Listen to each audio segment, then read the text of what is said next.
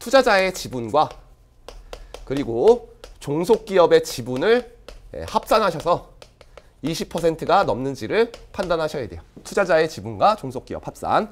그러니까 예를 들면 이런 거예요. 자, 지금 여기서 배- 본 것처럼 A 회사가 B 회사의 지분을 30% 갖고 있으면 바로 지분법 적용하면 됩니다. 직접적인 지분율이 30% 이상이기 때문에. 근데 우리나라 같은 경우에는 이제 지분 관계가 대기업들이 많기 때문에 상당히 복잡해요. 그래서 A 회사가 우리 B 회사의 지분을 60% 갖고 있어요.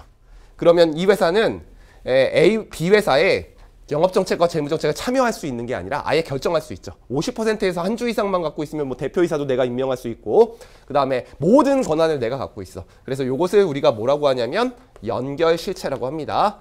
얘네들은 그냥 재무제표를 합쳐서 공시를 해요. 요것을 연결회계라고 하는데 여러분들 시험 범위는 아니기 때문에 아직 배운 건 아니죠.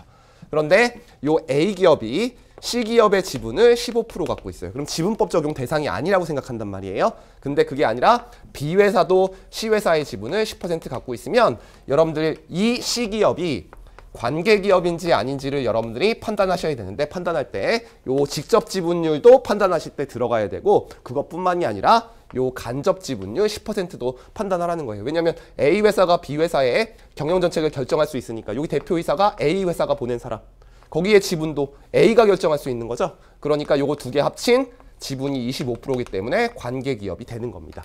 그래서 요 15%를 우리가 직접 지분, 요 10%를 우리가 간접 지분이라고 하고 요 직접 지분을 투자자가 갖고 있는 거, A 회사가 갖고 있는 거, 간접 지분 요 15, 10%를 종속 기업이 갖고 있는 거. 요 회사를 우리가 종속 기업이라고 하거든요. 자, 그래서 연결 실체 내의 지분을 모두 다 합산해야 된다.